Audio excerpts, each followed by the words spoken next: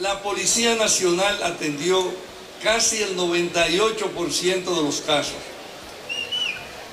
El personal de salud participó en 74%, el de obras públicas en un 11%, la DGC en un 10%, los bomberos en un 5% y otras agencias un 7%.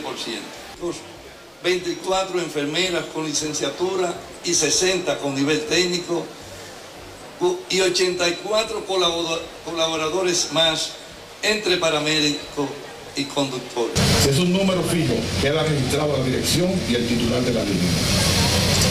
En caso de ser celular, aparece el número y de ser necesario el sistema 911 puede solicitar la identificación del titular del mismo. Construcción de la carretera Piedra Blanca, Juan Adrián, Rancho Arriba. El elevado de Piedra Blanca.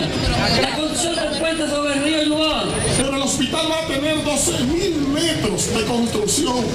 Es un hospital provincial, pero por la ubicación que tiene, que está a 20 metros de la autopista Duarte, es un hospital también regional.